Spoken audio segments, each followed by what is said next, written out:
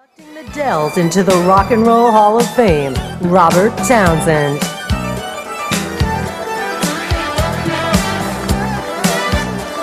Good evening, ladies and gentlemen. What a party tonight. What a party.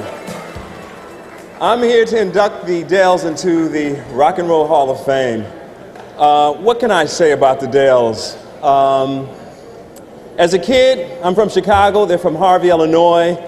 I grew up loving them, loving them. Their hits include Oh, What a Night, The Love We Had Stayed on My Mind, an accident in the studio produced their biggest classic. They, they were short one song, the story goes, in the studio, and they said, hey, we got to do this in this session. And they said, well, hey, there's this thing we do on the road where Marvin sings that long note. It was called Stay in My Corner. The Dells were my inspiration for the film The Five Heartbeats. When I was a kid, I grew up listening to their songs, and I always wondered if they had love in their real lives. It made me write the movie The Five Heartbeats. They were my technical advisors.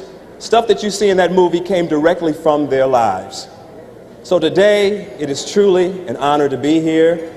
So, ladies and gentlemen, without further ado, please welcome the Dells. Way